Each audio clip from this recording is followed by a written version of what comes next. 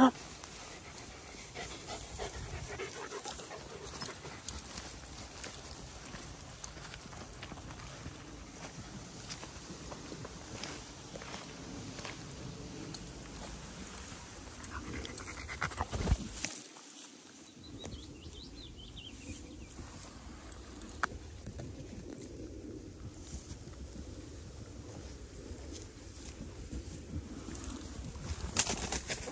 on. Oh, sorry, Mr. Pigeon.